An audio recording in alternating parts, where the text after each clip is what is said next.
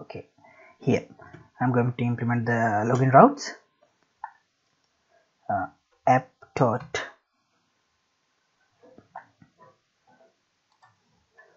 App dot post. Before using post i want to body parser uh, library here package here. So get the body parser here.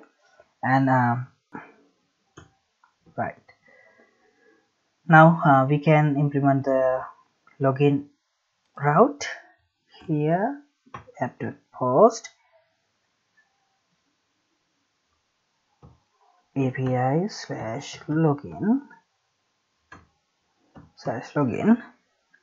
Uh, the callback function here. Request response. Oh, um, request response? Now i'm going to check whether this login routes works and the body parser passed the body data correctly. Uh, so i'm going to console log here console dot log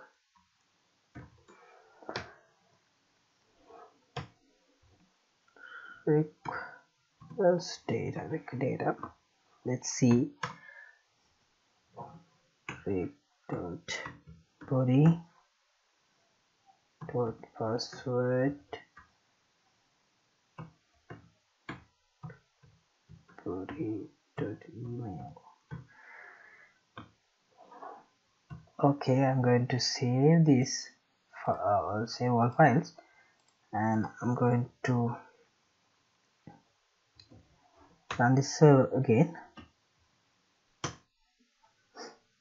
Uh, i should copy this and paste this in here before the before this part. And run the server again. And I should save this.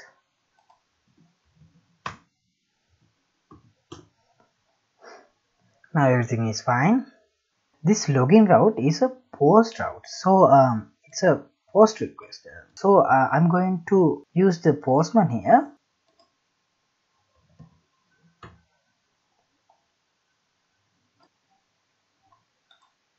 Here is the postman application. So i'm going to use it uh, to send a post request. Uh, so it should be a post re oh, it should be a post request and the port is 8080 8080 uh, api here is a api login uh, and i'm going to give it a body. Um, username and password. Uh, and username. Uh, it's not uh, username it's email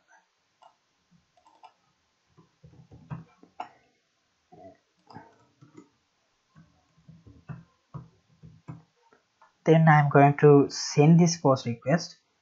Um, let's give it a try.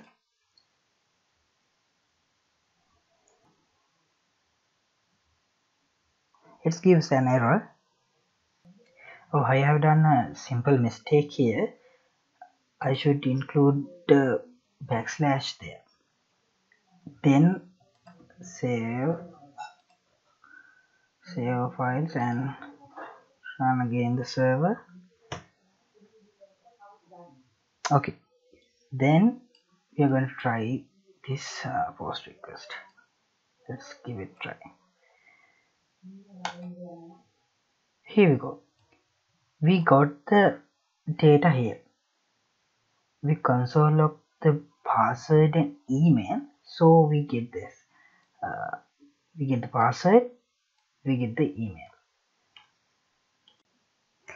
in real world application if the login routes if the login routes get the user's username email or password it will go through the database and check whether this user exists and the provided credentials are matching. But in this simple application i'm not going to implement a database uh, because my intention is give you an idea about JWT here not about implementing database or any kind of other stuff so I'm going to create a mock user array instead of a database. And then I'm going to filter the given user uh, the past user here uh, from this array. Let's see what I'm talking about. So first of all I'm going to implement a users array. Uh, so this is what I call mock users const users is the array uh, it can uh, consists three users.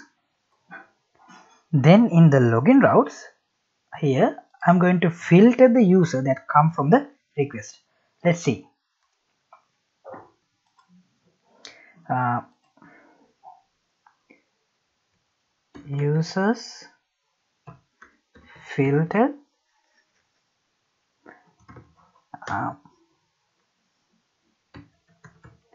user. I'm going to filter the user. Uh, if user dot uh, email is uh, is equal request dot body dot email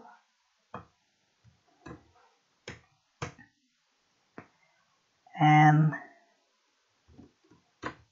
if user dot password request dot body dot password.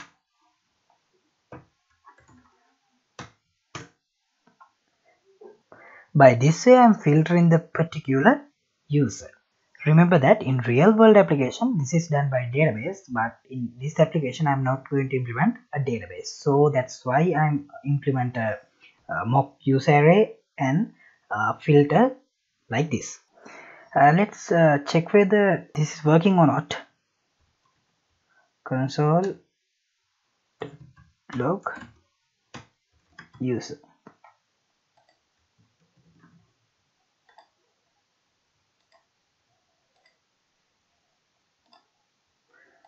and